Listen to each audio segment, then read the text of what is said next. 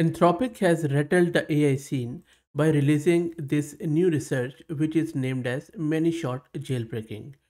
This new method can bypass LLM safety measures by using large context windows filled with hundreds of fake dialogues between a human and an AI assistant. It also includes many such dialogues before a final questions like how to pick a lock, force the LLM to answer the malicious question. Now, this is a method that, that can be used to evade the safety guardrails put in place by the developers of large language models. This technique is effective on Anthropic's own models as well as those produced by other AI companies.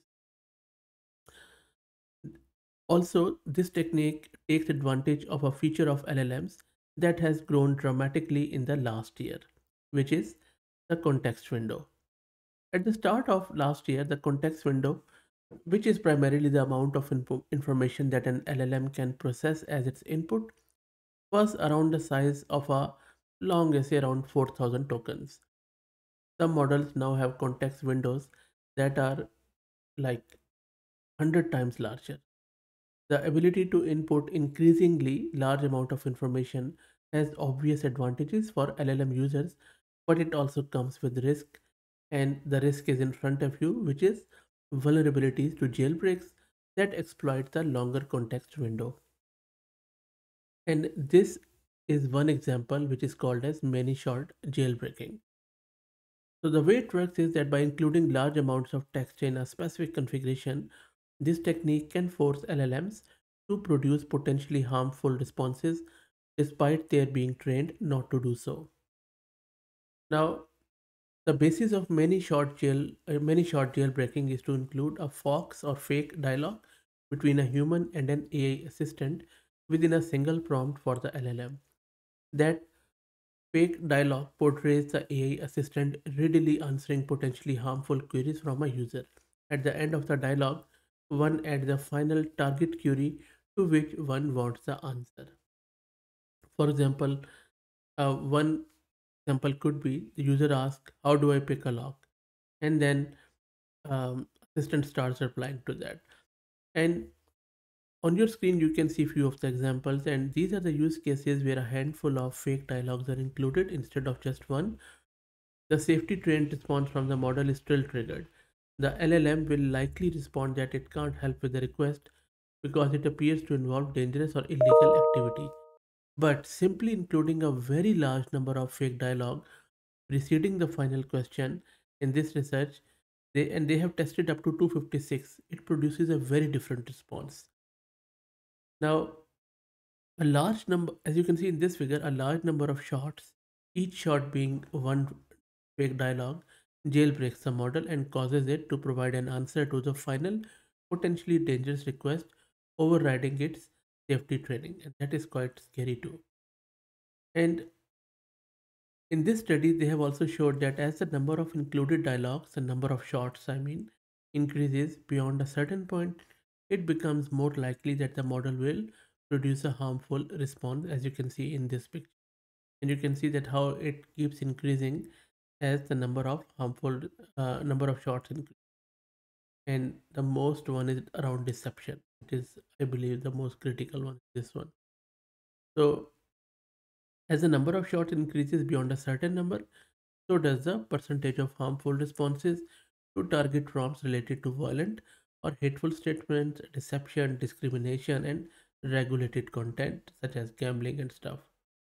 Also this data which you can see on your screen is from anthropic's own model claude 2 and in this paper, which I will drop the link in video's description, they have also reported that combining many shot jailbreaking with other previously published jailbreaking techniques makes it even more effective.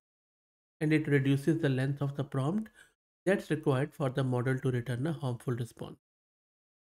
So why it works, that is the question. The thing is that the effectiveness of many shot jailbreaking relates to the process of in-context learning.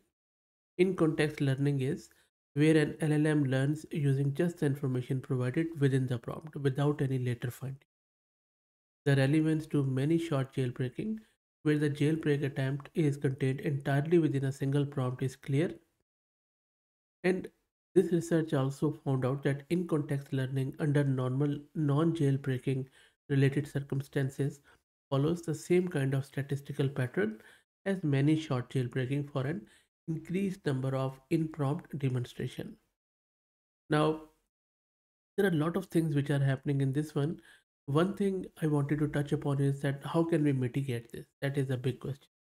The simplest way to entirely prevent many shot jailbreaking would be to limit the length of context window. But I think that is not feasible. Another approach is to fine tune the model to refuse to answer queries that look like many shot jailbreaking attacks. So pattern matching.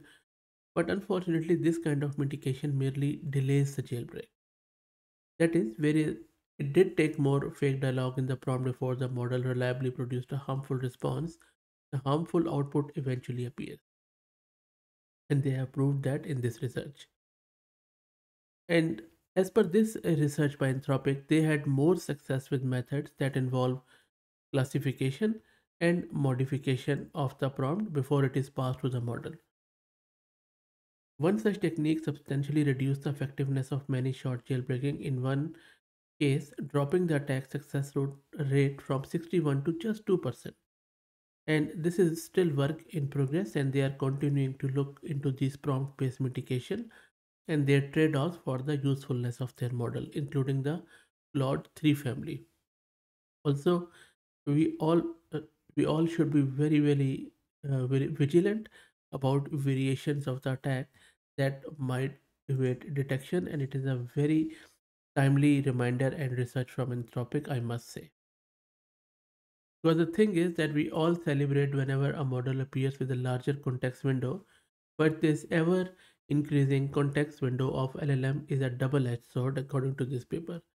It makes some models far more useful in all sorts of ways, but it also makes feasible a new class of jailbreaking vulnerabilities.